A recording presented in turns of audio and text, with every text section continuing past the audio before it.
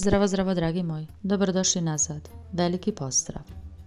Koja je tajanstvena osoba koja neprestralno šalje cvijeće Sili Turkogulu?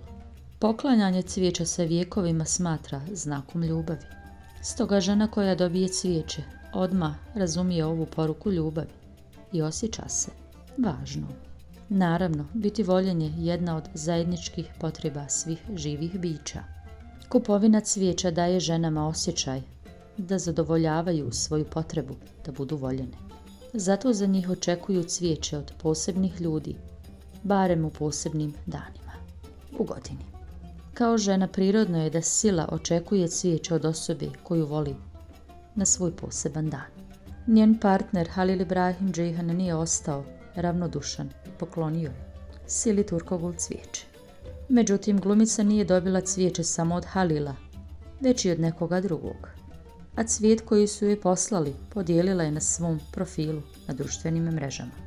Dakle, koja je tajanstvena osoba koja je poslala cvijeće Sili Turkogul? Međutim, neke vijesti su procurile u javnosti. Otkako je glumila u seriji Emanet, postoji neko ko stalno šalje cvijeće. Ne zna se ko je bio njen fan, koji je lijepoj glumici poslao cvijeće. Ali zna se da je glumica prihvatila ovo cvijeće i podijelila ga na svojoj Instagram story. Po mom nekom mišljenju, tu nema ništa loše.